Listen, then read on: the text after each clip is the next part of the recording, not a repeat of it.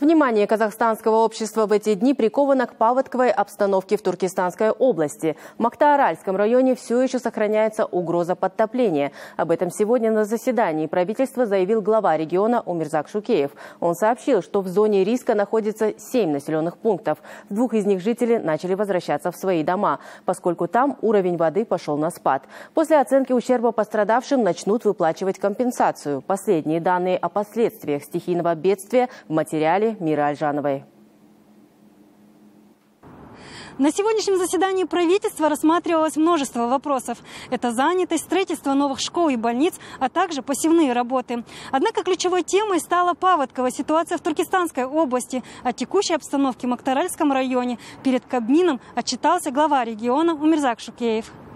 Из-за прорыва дамбы Сардобинского водохранилища в Узбекистане серьезно пострадали сразу несколько казахстанских сел, которые граничат с соседним государством. В результате потоплены три школы, пять детсадов, четыре медицинских объекта и дом культуры. Под удар стихии попали республиканские, областные и районные дороги. По данным главы региона Умирзака Шукеева, под воду ушли и порядка 800 жилых домов.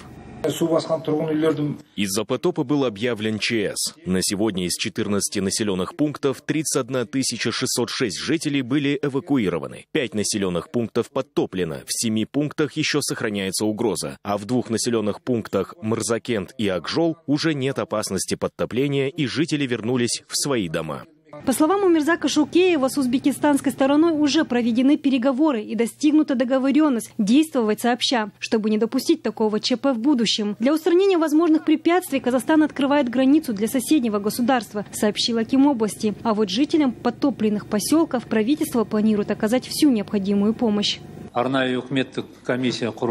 Создана правительственная комиссия под председательством заместителя премьер-министра Романа Скляра. Комиссия оперативно сделает оценку ущерба в пяти селах – Жанат-Урмыс, Женис, Фердауси, Ургебас, Достыка. Затем начнет работу по восстановлению инженерной, транспортной, социальной инфраструктуры и жилья. Правительство окажет всю необходимую помощь пострадавшим.